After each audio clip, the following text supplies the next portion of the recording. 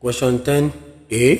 A is the point 6, comma 2 and B is the point 3, comma negative 4. Find the coordinate of the midpoint of AB. So you have x1 to be equals to 6, y1 to be equals to 2, x2 to be equals to 3, then y2 to be equals to negative 4. So using x to be equals to x1 plus x2 over 2 okay? So which is equals to 6 add 3 over 2 so this will give us 4.5 so you have 4.5 okay?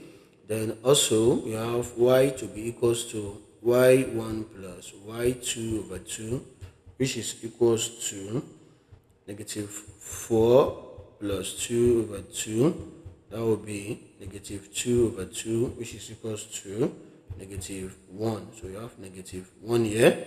Roman figure 2 calculate the length AB so the length AB written as this will be equals to the square root of x2 minus x1 squared plus y2 minus y1 squared.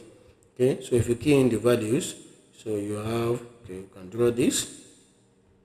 We have 3 minus 6 all squared plus um, negative 4, negative 2, negative 4, negative 2 all squared.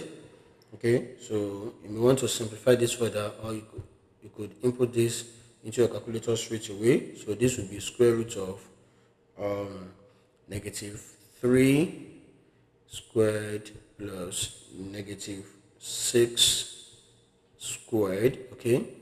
So which is equals to okay you can say the length AB equals to square root of 9 add uh, uh, square root of 9 add 36 so this will be equals to square root of 45 okay? So you may leave your answer like this or simply 6.71 so 6.71 so part B the equation of the line L is 4x plus 3y minus 12 equals to 0. Find the gradient of L.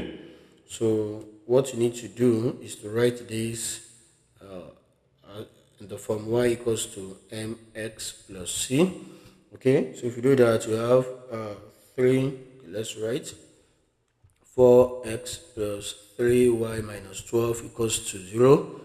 We have 3y to be equals to um, 4, negative 4x at 12. So y equals to negative 4 over 3x plus 12 over 3. So y equals to negative 4 over 3x plus 4. So if you compare this with the uh, equation, uh, general equation of a straight line, so you see that m is equals to negative 4 over 3. So that will be the gradient. Okay. So Roman figure 2, find the coordinate of the point where L crosses the y-axis. So um, what we want to do is to get the uh, intercept on y-axis. Okay. So that is uh, the requirement here from our solution in B Roman figure 1, so the equation of line L is y equals to negative 4 over 3x plus 4. So if you compare this with the general equation of a straight line, that is y equals to mx plus c. Okay, so you see that uh, c is the intercept on y-axis so that means we can say C is equals to 4. So that means L uh, touches the y-axis at um, y equals to 4.